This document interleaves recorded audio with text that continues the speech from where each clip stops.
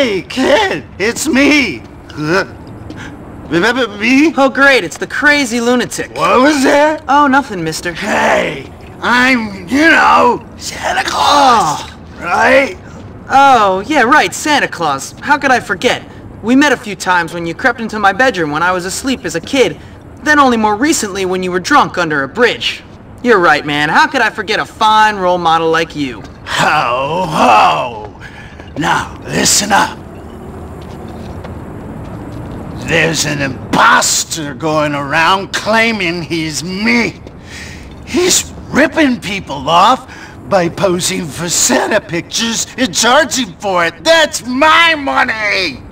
If you take care of this imposter, then I can take what's rightfully mine and cut you in on the action, of course. What do you say? Well, I wasn't expecting much in my stocking this year. So why not? That's a spirit.